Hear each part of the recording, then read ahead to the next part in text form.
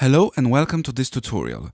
My name is Rimas Hozu for BlueFX.net. Today we're going to take a look at the Collect Files feature in After Effects and how to use it to avoid the missing files error.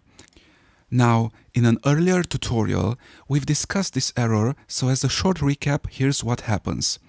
We open up a project and After Effects tells us there are missing files. We need to locate these files in the project area. They are highlighted in italic characters and they have icons that resemble TV color bars.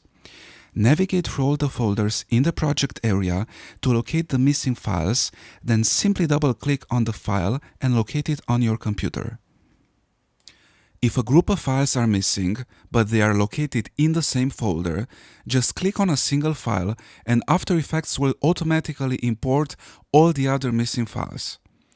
Okay, so now that our problem is fixed, let's go ahead and collect the files from this project, so later on, when you decide to move the project to another location on your computer or another computer, you won't get the missing files error again. Select File and Collect Files. Before After Effects can collect files, we need to save the project first. Make sure you collect all source files.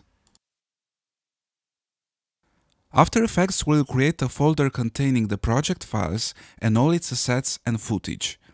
If you want to move the project to a different location later on, just keep in mind to move the entire folder with all its content. Okay, so that's it. Thank you very much, and I'll see you again soon.